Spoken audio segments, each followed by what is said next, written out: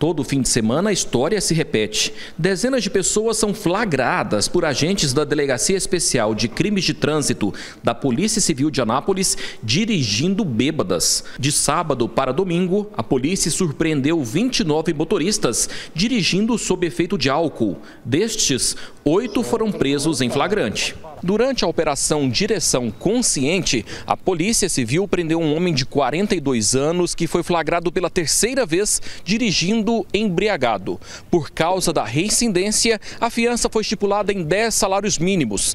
Como a fiança não foi paga, o homem foi levado para a cadeia. Na mesma noite, um homem de 28 anos que trafegava na BR-060 de Brasília para Goiânia perdeu o controle do veículo no perímetro urbano de Anápolis e o carro caiu numa vala. Segundo a polícia, ele estava bêbado, também não pagou a fiança e foi preso. Para completar, um outro caso também chamou a atenção.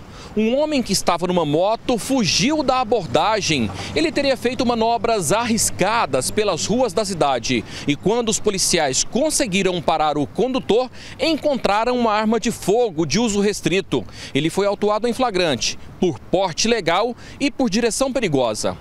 O crime de trânsito ele é relativizado pela maior parte da população. Isso demonstra um problema social onde as pessoas, nós brasileiros, temos valorizado muito mais o patrimônio. Inclusive, o combate aos crimes contra o patrimônio recebe muito mais atenção por parte dos gestores de segurança pública, dos policiais, operadores do direito. Não é a legislação que é falha. Nós temos vários instrumentos. A fiança, por exemplo, pode ser arbitrada de 1 a 100 salários mínimos.